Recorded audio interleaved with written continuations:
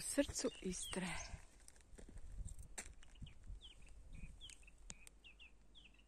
Stope srneće.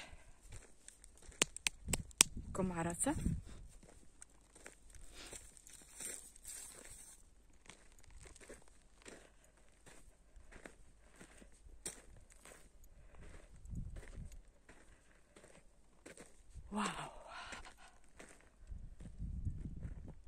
Samo zamislite kad voda navre kako to izgleda. Bujno.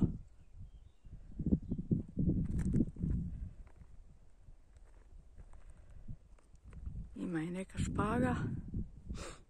Možda zipline bude. To ćemo se vratiti kad bude.